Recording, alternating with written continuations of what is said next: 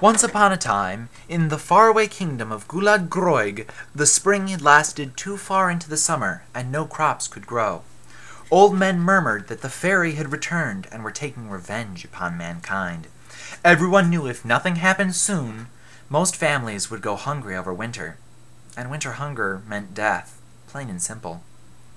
On their farm, Athame and his twin sister Apollo had the same fears, except they did not believe in the fairy, no matter how much the dear old Dodki had told them they were real. Suddenly, there was a knock at the door. In walked a small, child-sized man with sky-blue skin, seafoam green hair, lavender eyes, pointed ears, and bird's wings. Burra, he said. My name is Eme, and your grandfather told me to deliver the book to you after he was dead. So, here you go. And he tossed them a tiny paperback book. They read the title, and they were shocked to find it said, Blue Eggs and Bacon. No! exclaimed Athame. It cannot be! The holy book of the fairy doesn't exist any more than you do, Eme! With that, suddenly his face grew longer. He began to grow hairier. Just like that, he had been transformed into a dog. No! exclaimed Apollo. What have you done, Mr. Eme? What have you done? I did nothing, Eme said. The book did it. It can't stand doubters. Or peanut butter. Either one. What can we do to put him back to normal? asked Apollo. Only the human king, High King Shu has the power to undo the fairy magic once it is bestowed upon a human, other than that specific fairy, and the book will never take it back. All right then, Apollo said with determination. We'll go to the High King and get his help. Don't I get any say in this? asked Athame. What? screamed Apollo. But you're a dog. You shouldn't be able to talk. I am not a dog. Absolutely nothing happened. Wait. I am a dog. God's high and low. I think I'm going to cry. And with that, Athame began to bark and whine in such a way that they immediately interpreted it as weeping. Alrighty then, that settles it. We're off to see the wizard, exclaimed Apollo with gusto. King, Eme corrected. The High King Shu, Apollo restated. Immediately, they set out. When it was almost night time, they realized they had forgotten to grab any food or camping gear. Eme grumbled about not being fed, then randomly pointed in a direction, told them to go that way, and then he disappeared. They had nothing better to do, so they went the way the fairy had pointed. Soon they saw the light of a fire and smelled food cooking.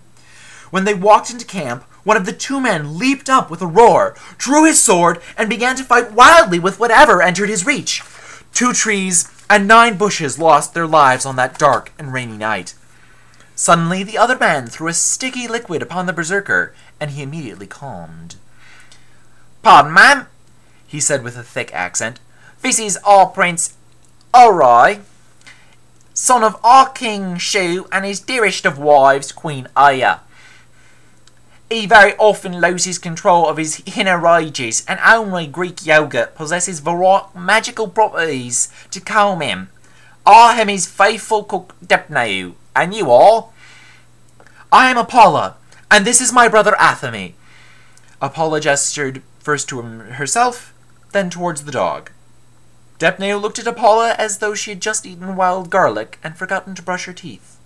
Then he sighed and said, Announcing Apollo and her brother Athame, your most high royalness. I don't see any brother, remarked Prince Ori. Oh, that would be me, said Athame. And that set the prince off into another frenzy. Another tree, and six more bushes were slain beneath his merciless onslaught. When Depneu went to throw the magical Greek yogurt on his master, Ahrai spun around and put his sword straight through Depneu's stomach. I'm slain! shouted Depneu, and he collapsed right into his pot of beef bourguignon. Sir Apollo sighed, pulled out the holy book of the fairy, and read the first line. My name is Shaken, and I really like blue eggs and bacon. With those words, Depneu leapt back to life. The twins that are no twins! exclaimed Prince Ahrai. Will you help me kill the evil fairy king Satun? The druid said I could not achieve it without the twins that are no twins, they who play with life, death, and cooking. If I cannot kill Satun, the entire land of Gulad Groig will die. My brother was turned into a dog, said Apala, and we were told that only your father, High King Shu, can free him from the enchantment. If we help you, will you see that your father changes Athame back into a human? Prince Ahrai agreed it right away, and they all enjoyed the beef bourguignon that Depneu had prepared. The next morning, they were getting ready to set out when Eme popped up out of nowhere. Follow me, Eme said, and I will lead you to your second task.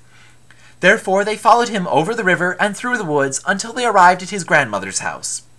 She was a kindly old fairy named Ahla, who looked li just like Eme, except she was old, wizened, and had no wings.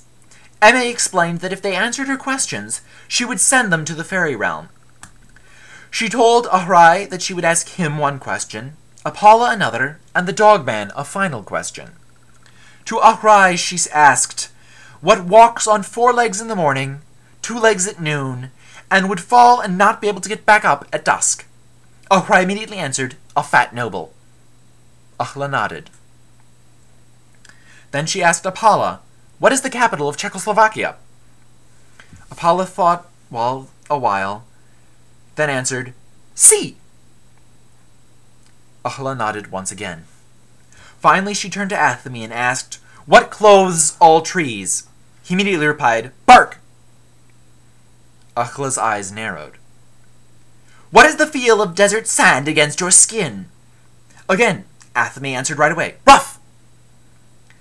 Ahla looked even more suspicious. What lies above all lords' heads as they sleep? Another time, Athame had the answer ready. Roof! Ahla looked about ready to scream. Who is the greatest baseball player of all time? Athame rolled his dog eyes. DiMaggio! Ahla sighed with relief, snapped her fingers, and they were in the fairy realm.